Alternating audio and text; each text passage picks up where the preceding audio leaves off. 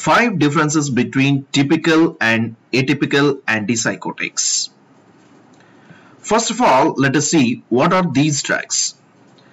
Drugs like chlorpromazine, triflupromazine, thioridazine, perphenazine, fluphenazine and haloperidol. All these drugs are called as typical antipsychotics.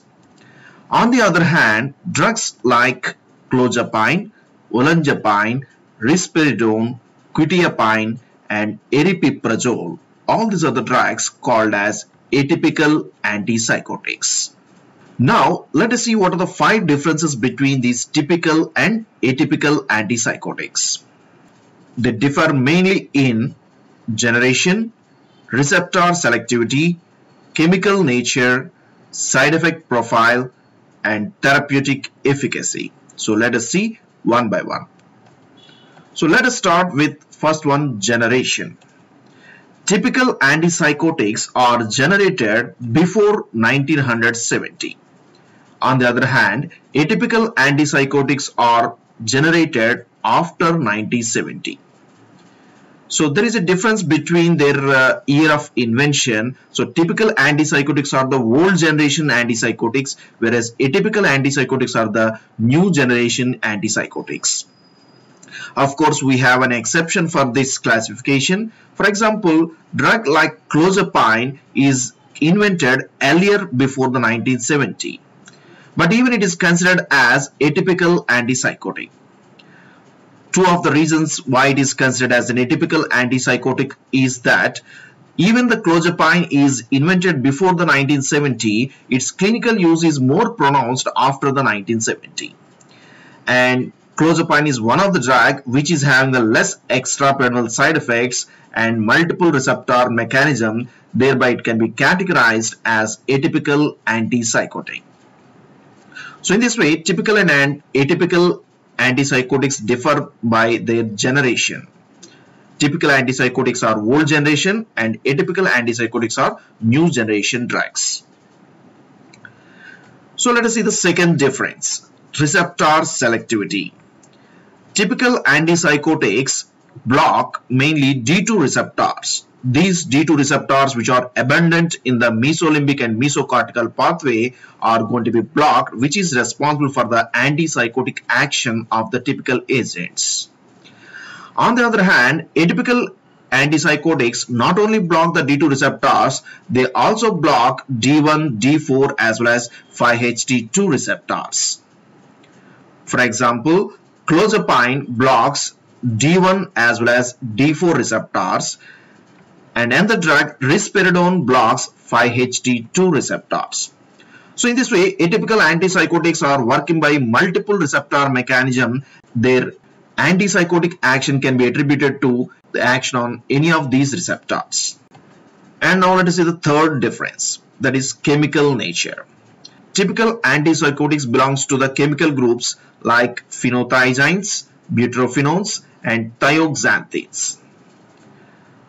On the other hand, atypical antipsychotics are chemically diverse group and there is no relation between the one drug with the other drug in a, their chemical nature. For example, typical antipsychotics like chlorpromazine, triflupromazine, thioridazine, perphenazine, fluphenazine. All these drugs belong to a chemical category called phenothiazines. You can see the suffix common suffix in all these drugs azine so they belong to the chemical category phenothiazines on the other hand haloperidol and droperidol are the other two drugs which belong to the butyrophenones. In this way typical antipsychotics belongs to any of this chemical group and they are chemically related and even their chemical structure is having some relation with the their binding to the dopamine receptors In case of atypical antipsychotics, let us see one example, clozapine. Now you can see the clozapine is having a structure with a ring system dibenzodiazepine. You can see the two benzenes are fused with uh, a seven member ring system with two nitrogens. So it is a dibenzodiazepine. On the other hand, another drug like aripiprazole is a very large structure with a chemically diverse group and aripiprazole is having a ring system like the partially saturated quinoline ring system. So there is no relation between the chemical structure of the clozapine and aripiprazole. So in atypical antipsychotics, many of the drugs are not chemically related and they belong to the diverse chemical groups. Fourth difference, side effect profile. This is one of the important difference between the typical and atypical antipsychotics. Typical antipsychotics can produce more extrapyramidal side effects, whereas atypical antipsychotics produce less extrapyramidal side effects. So typical antipsychotics can produce the extrapyramidal side effects like dystonias, dyskinesia and akathisia. Dystonias, they are the disturbance in the tone of the muscle leading to the muscle rigidity. Dyskinesia, this is the disturbance in the muscle movement leading to the muscle incoordination. And akathisia is the restlessness which is observed in the patients treated with the typical antipsychotics. On the other hand, atypical antipsychotics are having less extrapyramidal side effects, but they can produce some side effects like weight gain, diabetes, and elevated cholesterol. In this way, atypical antipsychotics does not produce the more troublesome extrapyramidal side effects, but they can produce the weight gain and they can modify the glucose as well as cholesterol levels in the body. And the fifth difference is the therapeutic efficacy. Typical antipsychotics can relieve the symptoms like hallucinations and delusions which are the positive symptoms of the psychosis. But they cannot affect the negative symptoms of the psychosis. On the other hand, atypical antipsychotics can relieve not only the hallucinations and delusions, they can also relieve the social withdrawal as well as reduced emotions in the patients. The last two are particularly the negative symptoms of the psychosis.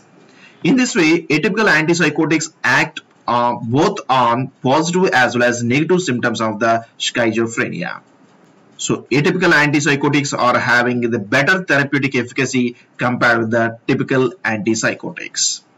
So these are the five differences between the typical and atypical antipsychotics. Atypical antipsychotics are the new generation antipsychotics having better therapeutic efficacy as well as better side effect profile compared with the typical antipsychotics.